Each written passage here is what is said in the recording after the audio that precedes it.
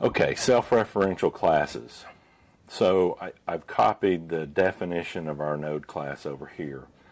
And what I'm going to do is I'm going to create a very simple chain of these nodes. And we're going to do it statically, using statically allocated nodes first. And then we'll do it all dynamically using new and delete. So let's say that I have a main function.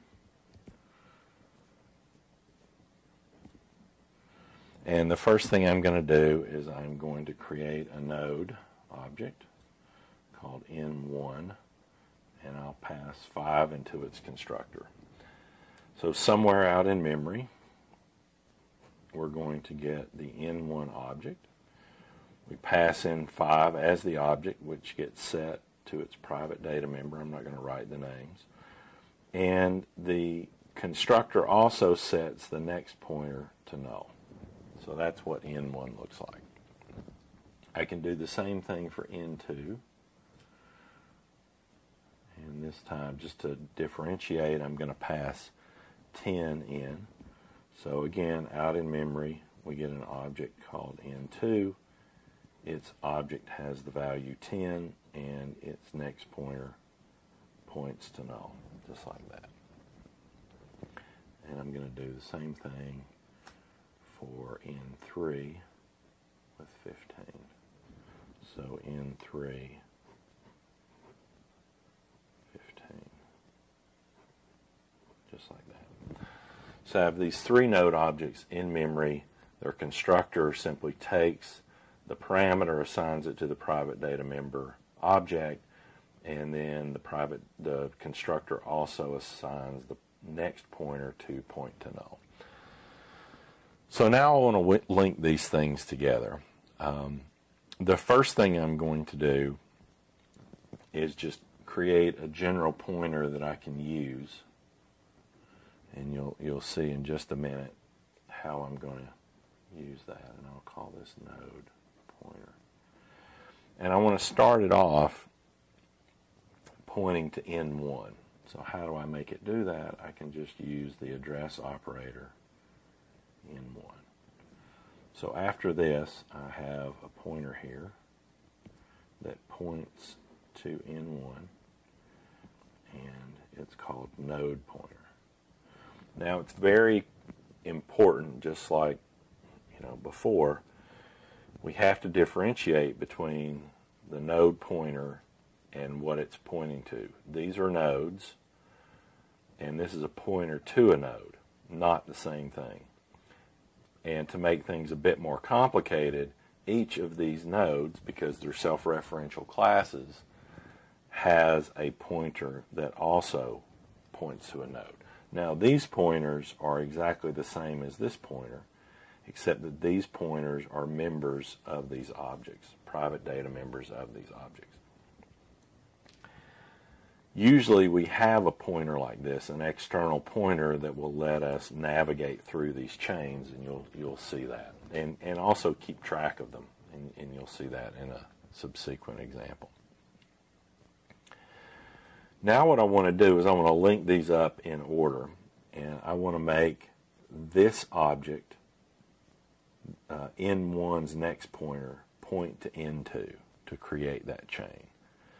And I can do that by simply passing in to the set next pointer method of N1 N2's address.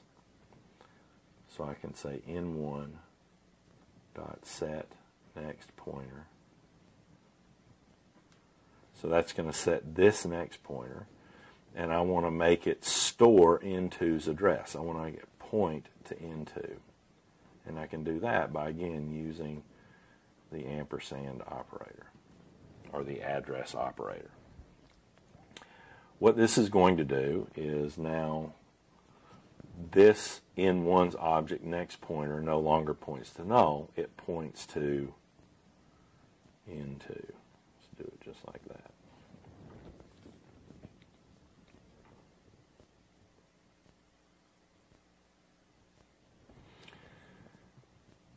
Now I want to do the same thing to link up N2 and N3. And so I want to set N2's next pointer. So I can say n2 dot set next pointer. And to make it point to N3, I have to pass in N3's address.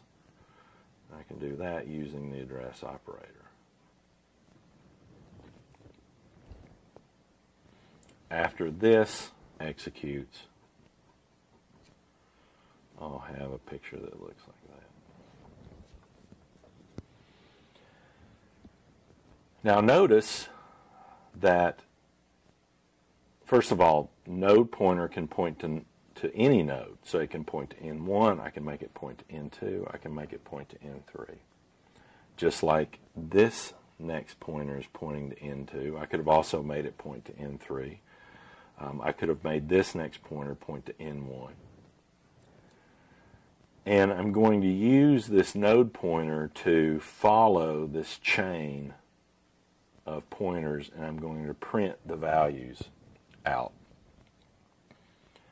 And the way that I can do that, what gives me these values, 5, 10, and 15? Well, it's the getObject method. So I have a pointer to the N1 object. So if I say cout node pointer, and I want to call the getObject method, and I can do that by using the dereference operator.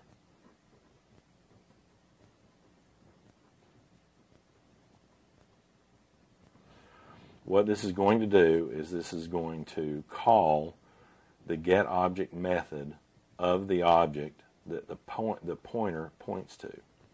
Node pointer points to N1, so get object it's calling this get object method for this object and it returns 5. So in terms of my output, this statement is going to print 5. Now, how do I move this pointer along? Well, essentially what I want to do is I want to make node pointer point to N2. I could certainly just say node pointer, you know, I could do this. I could say node pointer is equal to N2, right? That would assign N2's address to node pointer. But what I want to do is follow this chain. Follow this chain. I can do that by getting the next pointer on N1. So I can say that node pointer, and in fact these are the same addresses, right? Ampersand N2 or the address operator on N2 gives me this, it's the same address that's stored in the next pointer of N1. So I can say node pointer is equal to node pointer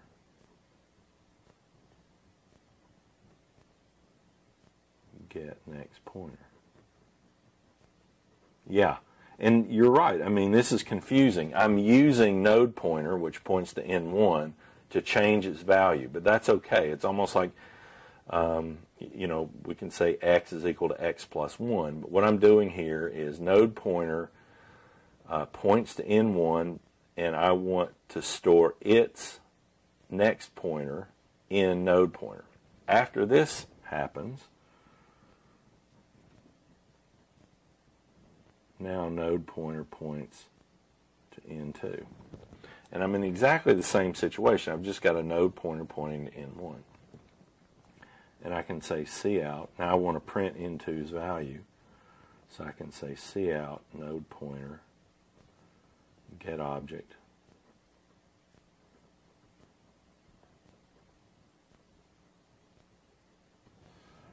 Node pointer points to N2.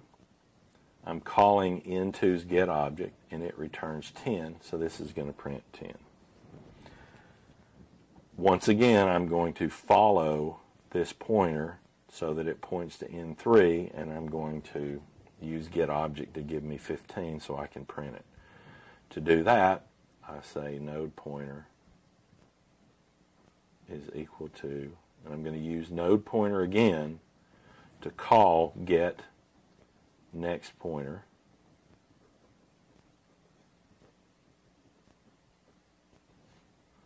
After this statement executes, node pointer is going to point to N3. Now I can say cout node pointer get object.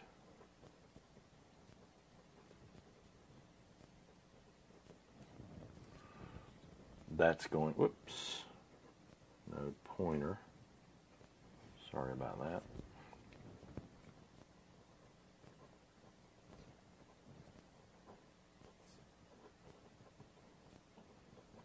Like that. that is going to call the get object method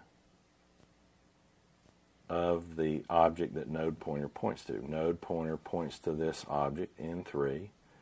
It's going to call this object's get object method or this node's get object method. I mean, nodes are objects and so are the integers contained therein.